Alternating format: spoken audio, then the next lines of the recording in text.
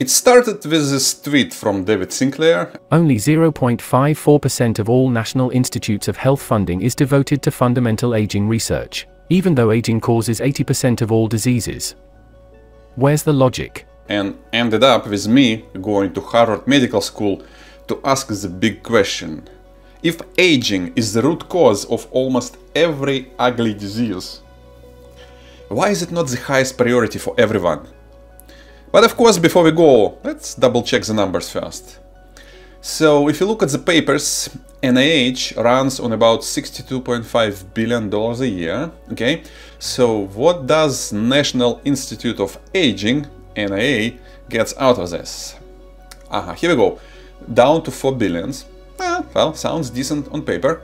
But do you know how they call this money in Harvard? Alzheimer Fund. And here's why. If you look at how much the Institute of Aging actually spends on aging, it's a whooping 337 millions, which is less than 10% of the NIA's money. And if I do my math right, divide 337 by 62.500 times 100, and we get 0.54%, which is how much we put towards understanding the aging process. You know how everyone complains that healthcare in the United States should really be called sick care because we have no prevention? Here's the basic pie chart which represents the same notion on the global scale. But at least we have reproduced David Sinclair's numbers, which doesn't happen every day.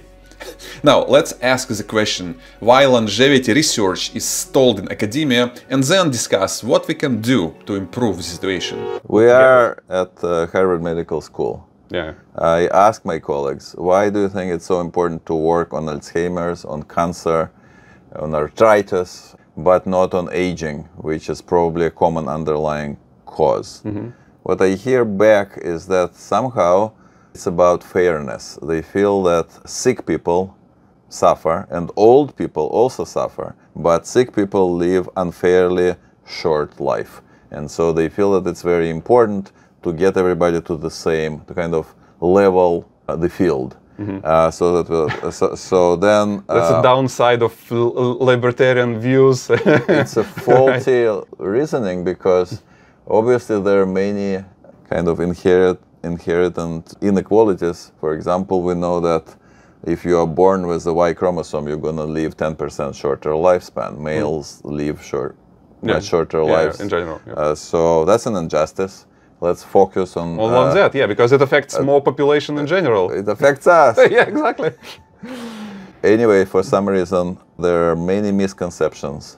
Definitely, if we all get involved, get organized, think there is a fighting chance. Science advances one funeral at a time. Very appropriate for aging biology. and this might be okay for other sciences, but our clock is ticking and if we just wait and do nothing until the new generation comes in and cures aging, it would be too late for us. So the only way we can work this out is to understand that A. Nobody's coming to help and B, it's up to us, me and you, to participate in citizen science and bring as many friends as possible. So what you can do right now is like this video, comment, share and watch the rest of this conversation we had, where we talk about a project anyone can jump in right away and speed up the longevity drug discovery 1000 times. Living is smart, aging is bad. See you there.